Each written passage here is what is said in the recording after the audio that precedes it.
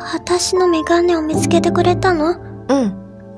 図書館に置いてきましたね。あそっか。忘れてしまった。うん、えっと、来てくれませんか？え？あれ？ううん。あー、すごく興奮して、で、汗が出てきました。え、え？え？